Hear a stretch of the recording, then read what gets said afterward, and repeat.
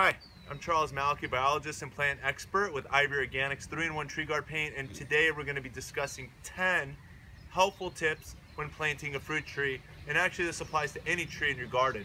Um, what I'm holding here in front of me is a wonderful pomegranate tree, and we're going to use this as for demonstration purposes. If you want to zoom in, if you're interested in planting um, a wonderful pomegranate, come a little closer and I'll share this label with you, and we can read it together. So take a look over here and it says that this is a low water use plant. So it's considered a drought tolerant plant. The wonderful pomegranate and that's the variety um, over here. And on the back side it says that the size of the tree will be anywhere from 20 feet tall to about 15 feet wide. So this gives you an idea about the tree and my first tip to you is to make sure that you start off with a tree that's either grafted or a cutting. And pomegranates are usually propagated from cuttings, which is simply taking a stem, such as this over here, and we're actually gonna be removing this stem, um, but I'll just do an example. If we were to take off the stem and plant it, this here would be a cutting. And this plant would now be identical to this plant that we just purchased from the nursery. So that's one way of propagating fruit. Once you know that it actually has an excellent variety of fruit, size, um, that it's a continuous yielding plant, then then you'll propagate it either by grafting or cutting. So we know that this is going to be as good as the original wonderful pomegranate tree that was discovered many decades ago. The next step is you want to dig a hole that's typically two times wider than the size of your container. So here's my container we typically want to go about two containers wide and typically no deeper than the depth of the container. By the time I improve the soil, the soil is going to relax a little bit more and it's going to sink a little bit deeper. So you don't want to go too deep with the hole. What's more important is to actually improve the condition of the soil around the root ball and less underneath it. But you do want to add a couple of inches, let's say below. Next step is we want to add some compost into the soil. And typically you're going to want to add two times as much of the native soil as you're pulling out, you're gonna wanna add is about as much compost to the soil. So we're gonna take this here and we're gonna add some compost to your garden. And this here you can see is one product and Kellogg's makes this grow mulch variety and there's also and there's also an amend product as well which is good and it's pretty much derived from forest product. You can see it's got a lot of wood chips. Um, it probably had a lot of leaves in it once upon a time. It's got poultry manure. It's got a variety of things which actually bring a lot of nitrogen, phosphorus, and potassium, which are your three major micronutrients for the soil. And this will help feed the soil microorganisms and help your plant off to a good start. Everything that we're gonna be doing in our garden is always organic and the primary purpose is we're trying to feed the soil organisms. So this step is to make sure that you're actually adding a compost to your soil, whether it's derived from your garden or purchased from your local nursery. So here we are. We're gonna mix that in with the native soil. And there's one other thing we're gonna add to the product as well. And this here is your fertilizer. This product I'm holding here is made by Espoma. You, what you wanna look for when actually picking up an organic product is you wanna see where it's derived from.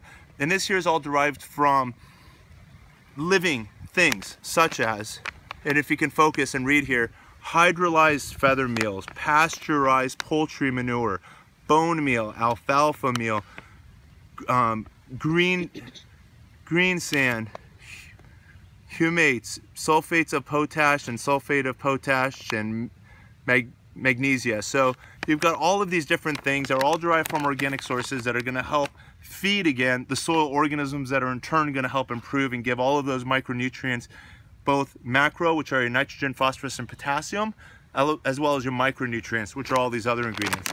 So we're going to open this bag up as well. And we're going to add this to the base. And we're going to be adding some to the topsoil as well. So we're going to mix this in as well so we mix it up we're gonna put a couple shovelfuls off to the side, which will be part of the backfill. And then here we go. So we've added compost, we've enriched it with an organic fertilizer, and now we're gonna put the plant in the hole.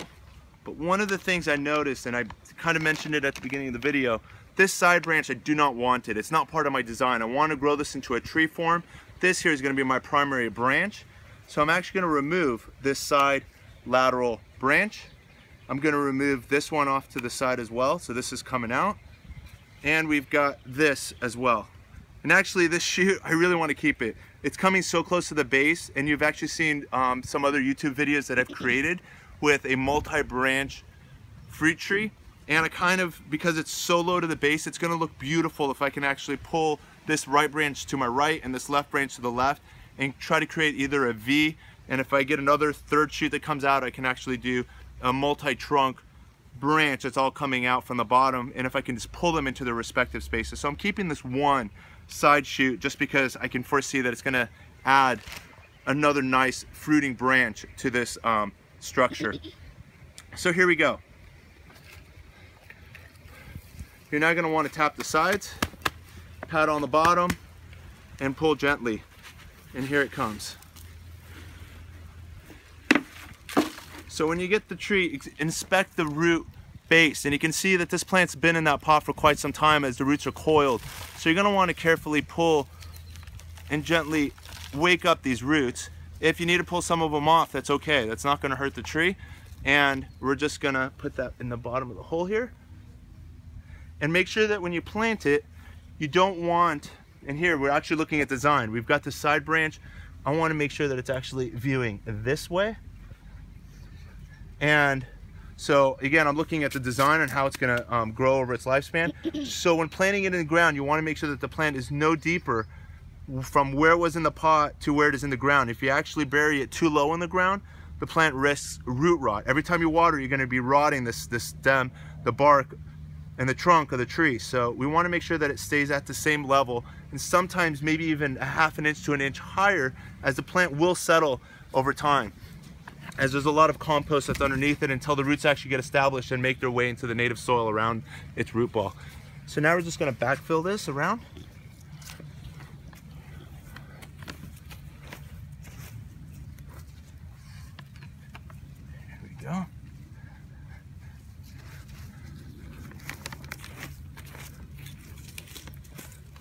We're gonna make a nice ring around this so that when we water it, the water will stay contained in this area around the root ball. And then it's important to remove any air pockets that may be around the plant. And the way we're going to do that is by gently tapping with your shoe around the side. Now I'm not pressing too hard. And the last step here is we're going to feed it one more time so I'm taking about another half a cup around the tree. Gonna take another handful of compost. Again, what this organic fertilizer and compost is gonna do is it's gonna feed the earthworms, it's gonna feed the nematodes, it's gonna feed all the bacteria, which again, in turn, is gonna feed this tree and keep it a happy and healthy tree. Our next up now is I'm gonna pass the floor to my assistant that's been videotaping. She's now gonna go and coat the um, tree with, let me pull up this product here. She's now gonna coat it with this IV Organics 3-in-1 tree guard paint. If you um, zoom in over here, you can see that it's a natural tree trunk and branch barrier um, protection from sunburn, insects, and rodents. And what we're gonna do now is paint the tree trunk with this product as today is expected to be close to 90 degrees here in Southern California. We're gonna paint the tree trunk as it's exposed. If this were naturally growing in the wild, it would actually be a bush form and it would not have any exposed tree trunk. So every time we go and try to design the trees to be to be in this tree form, we're actually um, creating a tree trunk that's exposed. And you'll see a lot of trees are actually either cracked, there's gonna be insect damage, and many times we'll see these trees suffering and die where the entire part of the tree on the inside is hollow from all the wood boring insects that have gotten into it. So we're gonna coat this with IV Organics to protect it again from sunburn, sun scald, insects, and rodents from chewing on it. There's a lot of wildlife up here. And after that, we're then just gonna make a solution to spray the entire top of the plant and create a sunblock that'll keep this plant cool as roots get established and off to a good start. So here we go. I'm Isabel Rose, and I'm going to be paint, painting this tree with IV Organics.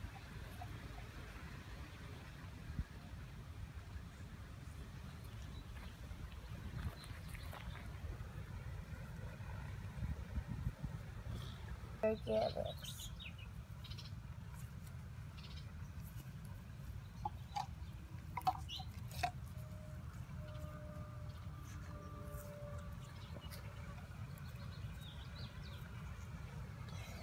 And now I'm gonna put a little bit of Organics in this bottle. And you'll be putting two teaspoons of IV Organics in here.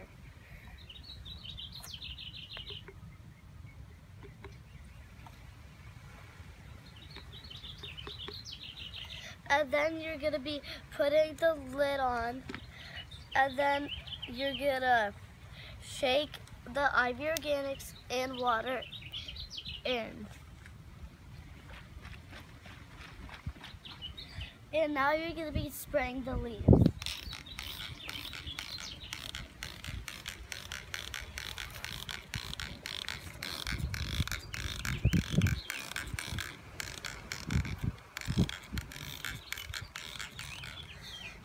And now I'm done. Bye. So I hope you found that helpful. You just saw Isabel. She just um, helped us with the tree painting. She helped guard now the bark from sunburn, sun scald, insects, and rodents with IV Organics 3-in-1 Tree Guard Paint, an organic paint product. And then she used one to two teaspoons in a spray bottle and used that as an organic sunblock to protect the entire tree from actually burning. Um, we want, especially we're at the end of spring going into summer. We've got some really hot months against us. This here is going to help the plant stay protected from dehydration while the plant gets its roots established and hopefully puts out another huge flush of growth, hopefully a few more feet out this year and maybe goes into bloom as early as next year. Our next step is we're gonna stake the tree. And this is gonna be our next tip.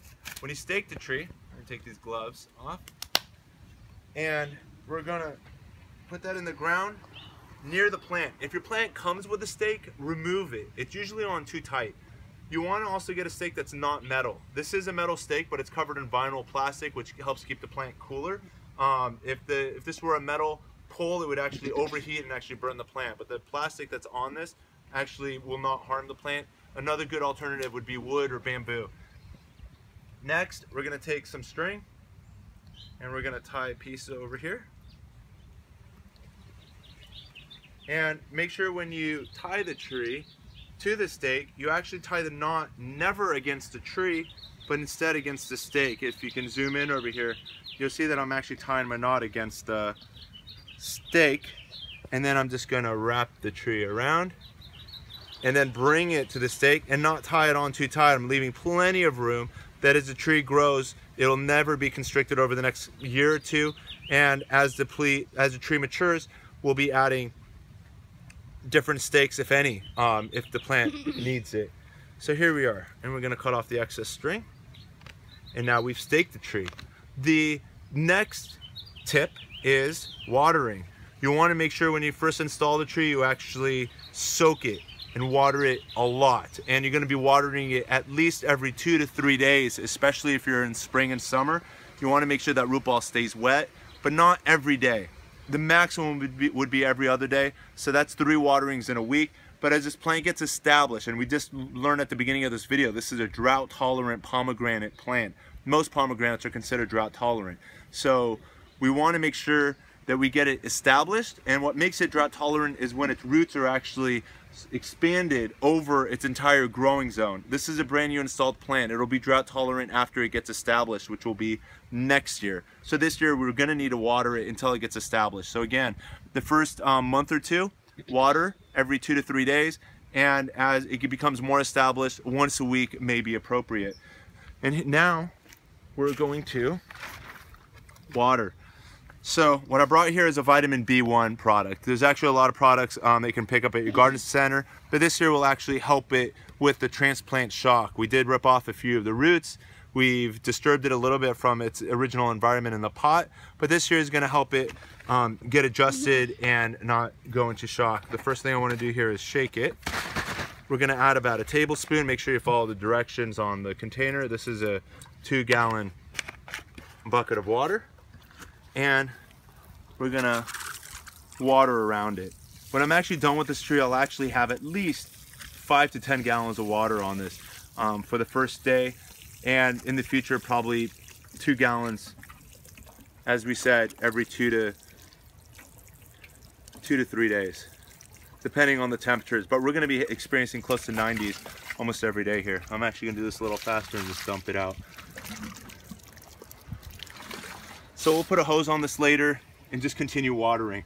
The final tip I want to share with you, and I'm going to review all this at the end to make sure I've got all 10 in today, is if the plant actually has any insects or pests on it, my first advice is do nothing. If you see, so if you see any aphids on your plant, it doesn't mean to necessarily spray it. If you see that the plant is being harmed so badly by pests that it needs it, then I'm going to come up with a couple alternatives. But in my garden right now, I've been looking around for pests and there's none. And there's so many predators. I've got spiders, I've got praying mantis, I've got ladybugs, and birds, and a variety of, of predators that are actually feeding on what we consider the pests, which are the you know which are the aphids and grasshoppers that can harm your plants and uh, and a variety of other things that I can actually maybe chew on your leaves or suck on the on the plant or any other things that might be considered as harmful to your plant. But if it's minor damage, I wouldn't do anything to your plant. I would actually leave it because that's the food for the predators that are in your garden. So my first advice is do nothing. But if you have to do something, I've got two products that I'm gonna actually um, bring to you so you don't have to move. The first one here is Captain Jack's Dead Bug. This is a product and you'll actually find it, but what makes this one so special is it's got a, um, it's got their active ingredient being a spinosad, which is a bacteria. And this bacteria is only found in one place in the world.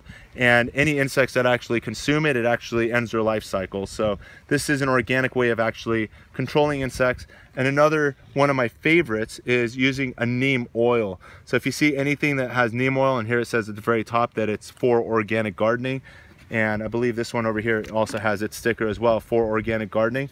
But what neem oil does and you can take a look here. Neem oil has the benefits of being an insecticide and also a fungicide and also a miticide. But neem oil comes from the neem tree and it's an oil that if it's ingested by the bug actually ends the insect's life cycle. If it's a nymph or an adult, it basically within a matter of days stops growing, starts stops developing, and ultimately kills the insect if they consume it. And most insects are actually repelled from it. So if you spray neem on your on your plants, that'll actually keep them off. So let's review real quick. And I'm actually gonna put this list at the very bottom of my video as well so you can actually see all these things. So I gave you the 10 tips for helpful fruit tree planting. And this here we're next to again is the wonderful pomegranate um, variety of pomegranates. and this applies to all fruit trees and actually all trees in general. The 10 tips, I'm just gonna recap it again. You'll find it um, below in the comments. One, start with a grafted tree or cutting. It's preferred over a seedling as a seedling is usually a chance genetics. Just like children, I don't want to say some are good and some are bad, but they're different. And if you plant a seed from a pomegranate, you're going to get a variety of pomegranates. The wonderful variety was picked in particular because it was a good variety and cuttings have been taken off of it and, and grafted so that they're identical to the parent plant. So if you're, you're buying something you know is going to be a good tree compared to with a seedling, it could be fruitless, it could have inferior fruit, and it could also be superior fruit. But you're taking a chance if you plant a seedling variety and the other um, negative when it comes to seedlings is it takes a lot longer for them to go into fruit production. Whereas a cutting and also grafted variety will go into fruit production typically in the first year or two.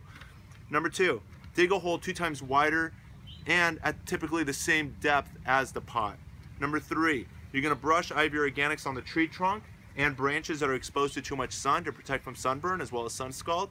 Also helps protect if you um, put it on lower from any gnawing rodents and also helps with any insects on any pruned branches um, that may exist or any exposed areas on the tree branch and track and tree trunk and branches. So we just talked about wood chips around it. What the benefits of the wood chips are, it's going to continuously feed the soil organisms. It's also going to insulate the soil and it's actually going to keep it warmer at night, just like the insulation of your house. And another benefit of actually putting the wood chips around the base is it's going to retain moisture. When we go to water around the, the plant, it's going to keep that moisture in the soil. It's going to be harder for it to evaporate out of the soil um, and dry that root ball out. So a lot of benefits for actually adding wood chips around it, which is going to be our next step over here. When it comes to pest control, we talked about neem oil and spinosad as being your alternatives, but if anything, do nothing unless you actually see severe damage to your plant and it's um, and it's really your means for last resort. There's a lot of predators typically in an organic garden and and pest control is usually not necessary.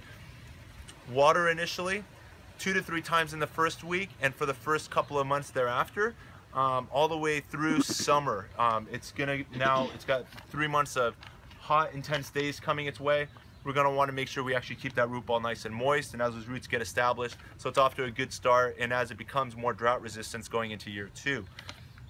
Stake the trees loosely. We put the tree in here, we tied the knot to the stake. If it already comes staked when you purchased it from the nursery, make sure you take that one off. It's usually on too tight. So we are, we're actually tying the knot to the stake, keep at least an inch or two between the tree, and then wrap that, um, that, that string around it that way.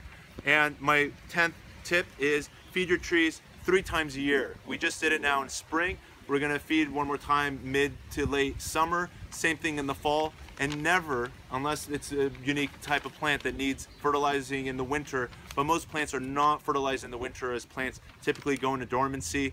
It's their slow season and it's just not the time to fertilize. So fertilize spring, summer, and fall three times a year. Make sure you feed your plants so that they can feed you. Anyway, so I hope you found this video informative. I've discussed 10 helpful planting tips when putting a tree in your garden. If you've enjoyed this, be sure to like it. Most importantly, don't forget to subscribe down below. IV Organics now has dozens of YouTube videos for you to enjoy, all coming from myself, a biologist and also plant expert with IV Organics, 3-in-1 tree guard paint. And I hope you have wonderful results just as our wonderful pomegranate is going to be off to a wonderful start. Um, happy gardening and thanks again for watching. Take care.